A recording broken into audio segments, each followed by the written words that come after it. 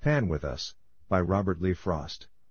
Pan came out of the woods one day, his skin and his hair and his eyes were grey, the grey of the moss of walls were they, and stood in the sun and looked his fill. At wooded valley and wooded hill.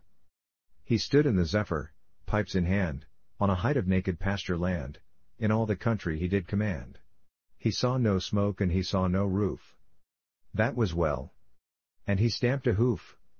His heart knew peace, for none came here, to this lean feeding save once a year. Someone to salt the half-wild steer, or homespun children with clicking pails, who see so little they tell no tales. He tossed his pipes, too hard to teach.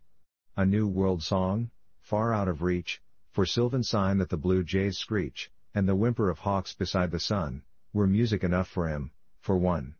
Times were changed from what they were, such pipes kept less of power to stir, the fruited bough of the juniper, and the fragile bluets clustered there. Than the merest aimless breath of air. They were pipes of pagan mirth, and the world had found new terms of worth.